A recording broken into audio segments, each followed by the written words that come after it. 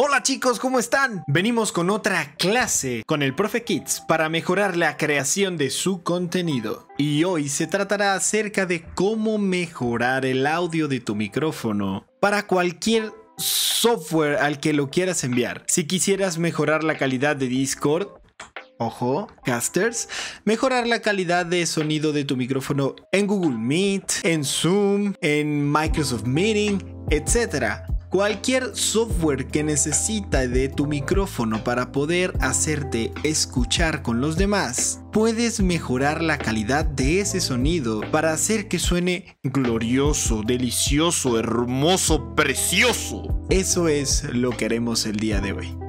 Vamos a trabajar con un software que se utilizó en uno de mis videos anteriores. Por aquí arribita les va a aparecer una tarjetita para que puedan ir para allá a utilizar ese software, introducirse, saber cómo manejarlo y cómo configurarlo para llegar a este punto sin problemas. Ok, vamos a comenzar. Muy bien, el software que vamos a utilizar se llama Voice Meter Banana. Ya vimos cómo configurarlo por ahí en la tarjetita y aquí en este momento ya lo tengo listo para poder comenzar. Vean, lo que tenemos que hacer primero es seleccionar uno de los hardware inputs como mi micrófono. El micrófono que yo voy a utilizar en este caso será este pequeño que tengo aquí. Doy clic izquierdo en este lado, utilizo mi micrófono que se llama Tornor TC77 Audio Device, le doy clic y ahora en este momento el software ya está detectando el audio que yo le estoy inyectando a través de mi voz y el micrófono hacia el mismo software. Ahorita lo que tenemos es conectado el audio de mi micrófono con el software. Y en este software nosotros vamos a hacer todas las modificaciones necesarias para hacer que suene bellísimo. Y, de, y desde este software los vamos a mandar a cualquier otro software que vayamos a necesitar en nuestra computadora. Una de las primeras cosas que podemos hacer es balancear los sonidos muy bajos y los sonidos muy altos. Para eso podemos realizar una compresión. La compresión acerca a los sonidos bajos a un nivel de volumen más adecuado y baja a los sonidos muy fuertes a un volumen más adecuado para que no exceda cierto volumen. Y el promedio de volumen pues se maneja en un rango un poco más pequeño. Podemos ponerlo en .5 a, a, 2 eh, dependiendo de cómo esté funcionando su micrófono el mío yo lo voy a dejar en .5 después de hacer unas cuantas pruebas ahí está gate este elemento llamado gate es una puerta que le permite o no entrar al audio. Si tiene cierto nivel, le va a permitir entrar y si no, pues no. En este momento está totalmente eh, abajo, no tiene ninguna tolerancia, entonces puede pasar a todo, todo el audio necesario. Pero si nosotros queremos que cuando estemos calladitos no se escuche nada, ojo que cuando esta barra se está moviendo es que significa que el micrófono está captando audio. Y si nosotros queremos que estar calladitos y no se escuche nada, vamos a tener que ajustar este gate. funcionará de la siguiente manera. Nosotros vamos a subir este elemento que está aquí, este, este pequeño eh, controlador que está aquí, lo vamos a subir hasta el punto en el que cuando estemos callados no se escuche nada. Bien, en este momento ya no se mueve la barra. Está en 1.4. Recomendaría subirlo un poquito más. Vamos a subirlo a 1.8. Ojo que esta parte no la vamos a tocar. Ahora que ya tenemos adecuada la señal que está captando el software de nuestro micrófono, lo que vamos a hacer es enviarla a una de las salidas digitales. Tenemos la salida digital B1 y la salida digital B2. Ojo que si ustedes se quieren escuchar, pueden seleccionar, se siente muy extraño escucharse a sí mismo cuando uno habla con un poquito de delay. Pueden seleccionar la salida de audio donde ustedes tengan, por ejemplo, sus audífonos o, sus bocinas. Yo puedo seleccionar aquí mi salida de, audio de mis audífonos. Y puedo hacer notar el cambio entre la compresión y, el y la puerta de, de ruido. Bueno, y si quieren dejar de escucharse, denle clic y ya. Vamos a enviar esta salida, esta entrada de micrófono, hacia una salida de audio digital. La enviaremos hacia la salida B2. Bien, ya está en la salida B2. Y si se dan cuenta, cuando yo estoy hablando, aquí en la salida B2 se alcanza a notar que también entra el sonido. Ya después de haber hecho 1 la compresión, 2 el filtro de la puerta de ruido y 3 vamos por lo siguiente, vamos a hacer una ecualización. Una ecualización que nos va a ayudar a mejorar muchísimo las frecuencias vocales, las frecuencias que nosotros utilizamos al hablar. Para esto le vamos a dar clic derecho a donde dice EQ, EQ. Ustedes lo van a encontrar de esta manera. Ahora lo que nos resta es hacer una ecualización con 5 sencillos pasos que les voy a explicar a continuación. Estos pasos me van a ayudar a mejorar muchos aspectos para amplificar, mejorar, embellecer, tratar y hacer más maravillosa la voz. Ojo, ojo, antes de comenzar les voy a dar un preview de cómo se escucharía el micrófono antes del ecualizador. Aquí se encuentra mi micrófono antes del ecualizador. Estoy tomando la salida de audio. Yo les voy a enseñar cómo, no se preocupen, pero así se escucha. En este momento, lo primero que debo de hacer es quitar las frecuencias bajas con un filtro pasa altas a una frecuencia de 90 Hz. ¿Por qué? Porque las frecuencias que se encuentran abajo de 90 Hz son aquellas que, que están relacionadas como por ejemplo por el ruido del simple micrófono, por la alimentación que está tomando el micrófono y bueno, vamos a quitar esos elementos de ahí primero. Entonces, Vamos a utilizar un filtro pasa altas. Lo seleccionamos. Y ahora vamos a cambiar la frecuencia hacia 90 Hz. 89.1 está súper bien. Bien, el segundo paso es eliminar las frecuencias lodosas. Eso que, que llaman muddy frequencies esas moody frequencies son muy, muy, es como, es como extraño de interpretar, pero son como los sonidos graves que opacan a los sonidos agudos. Es como cuando suena más o menos así.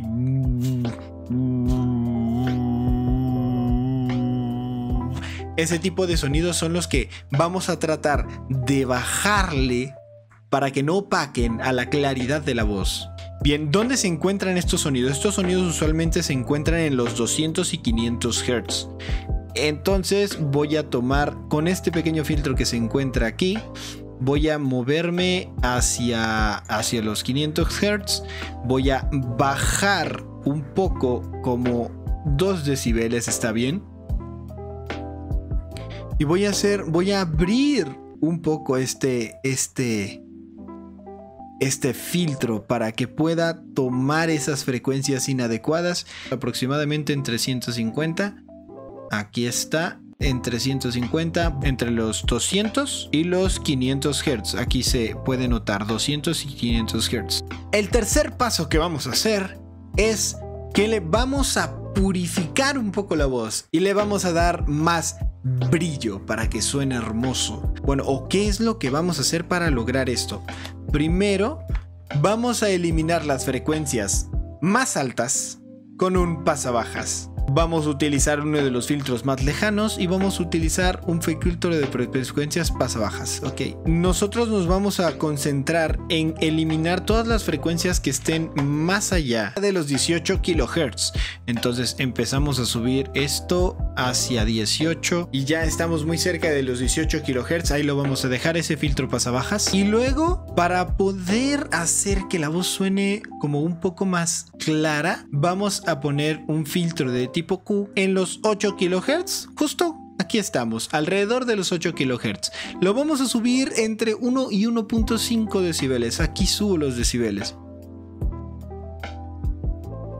El cuarto paso será añadir presencia a la voz. Usualmente las frecuencias entre los 4 y 5 kHz pueden llegar a tener más solidez, más firmeza y vamos a amplificar esas frecuencias. Puede llegar a variar un poco dependiendo de la tonalidad de voz de la persona. Vamos a ponernos en medio en este momento los 4.4 y le vamos a dar una amplificación de 2.5 decibeles.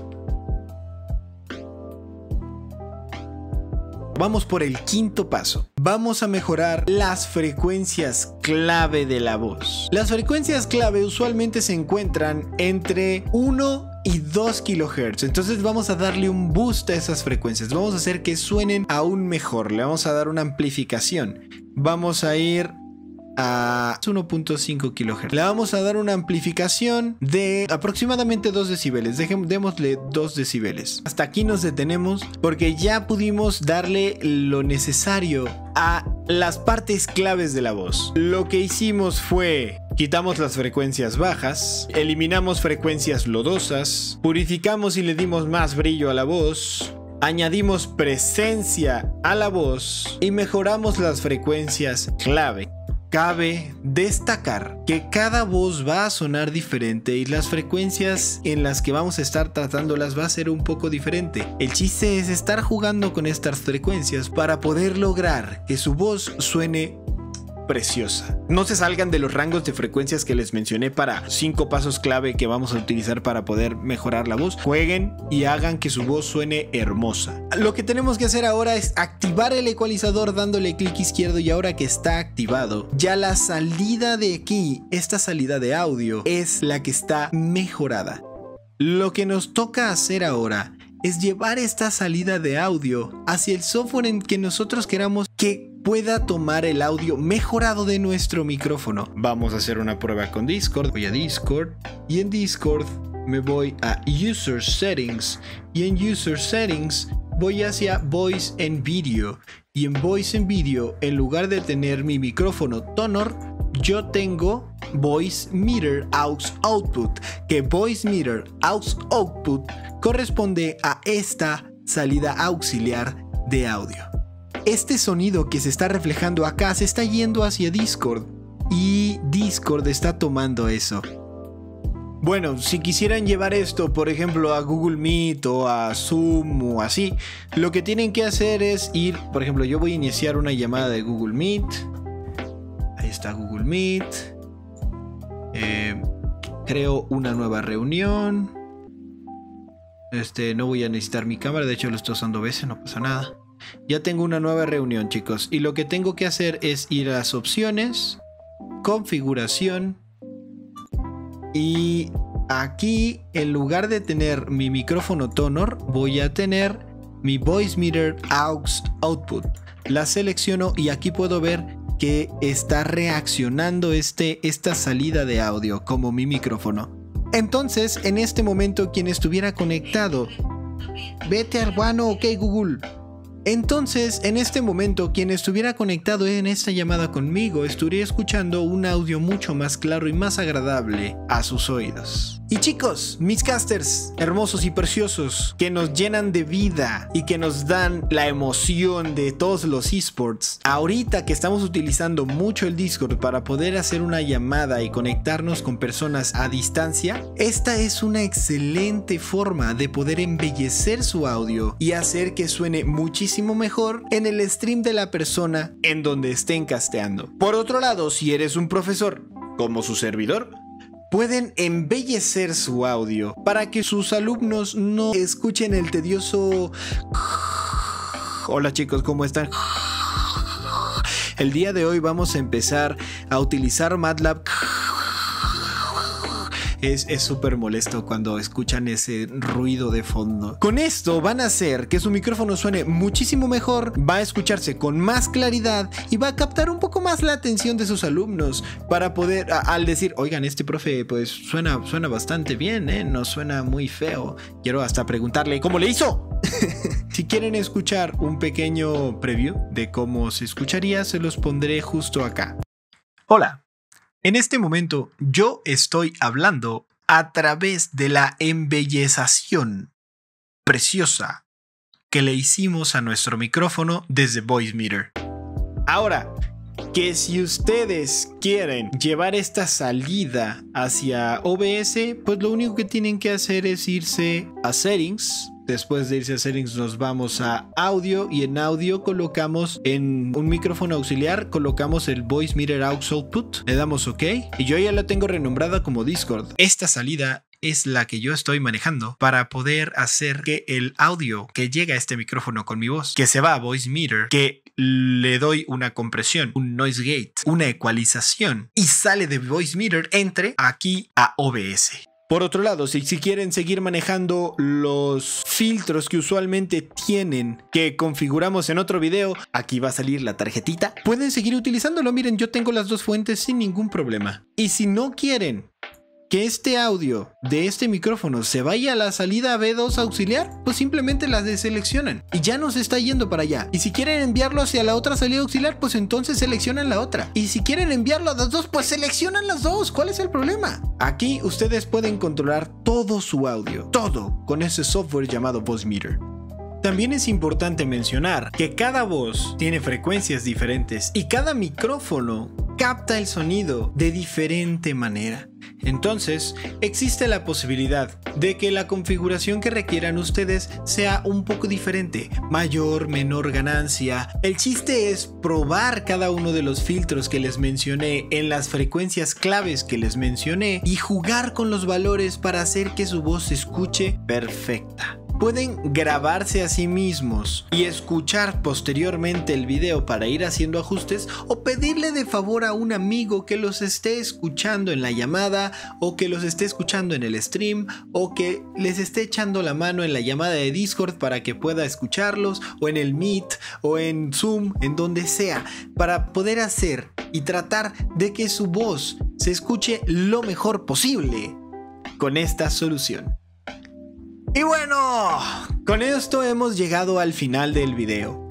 Ahora ya podrán enviar su audio súper embellecido para Discord hacia la persona con la que estén casteando.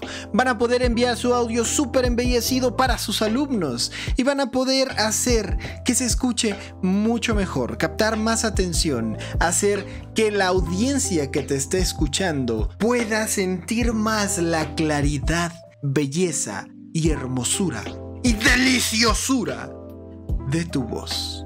Bueno chicos, entonces nos vemos en el siguiente video o en los directos de Twitch, que son martes, miércoles, viernes, sábados y domingo a partir de las 8 de la noche. En mi canal de Twitch que está apareciendo justo ahora.